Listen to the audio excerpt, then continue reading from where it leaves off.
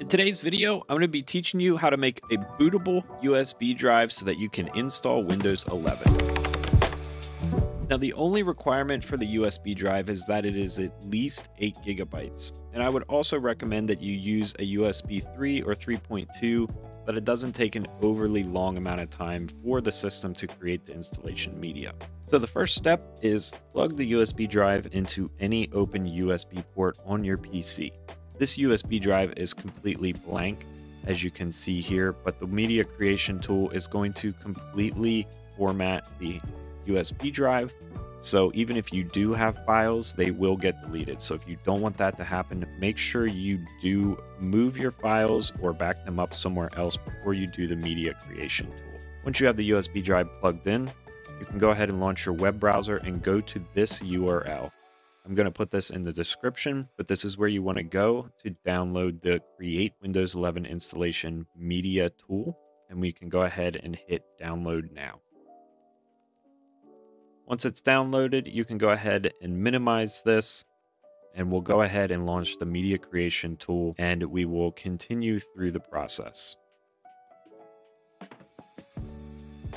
You can read the applicable notices and license terms here hit accept, allow it to get a few things ready again.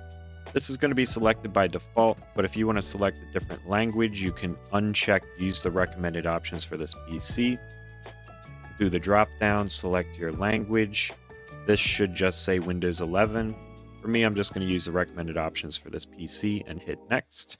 We're going to do USB flash drive, and then we're going to use H USB 321FD, which is the one that we just plugged in going to hit next, and it's going to download Windows 11 onto the USB drive. We're going to go ahead and let this complete and pick back up when it finishes. So we're coming up on 100% of downloading Windows 11, and we're going to see what happens next and continue with the process.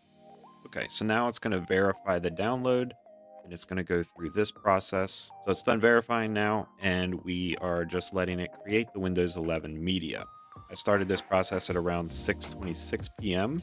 It's now 6.29, so we're about three minutes into this process. Okay, so we're coming up on 100% in this window, and we're gonna see what we would have to do next.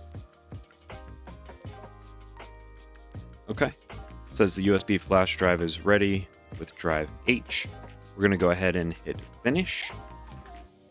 Cleans up a little bit and we're all done. So let's go ahead and take a look at USB drive and see what changes it made. Okay, so it renamed the USB drive ESD-USB, still kept the drive letter H, but it added all of these files here that you will be able to boot off of when you are installing Windows 11. Now we can boot off of this USB drive by plugging it into the motherboard and changing in the BIOS boot from USB. This is a super easy process and it took less than 10 minutes for me to do this myself. I hope this video helped you create your own installation media for Windows 11 so that it makes your build super easy to get an OS installed.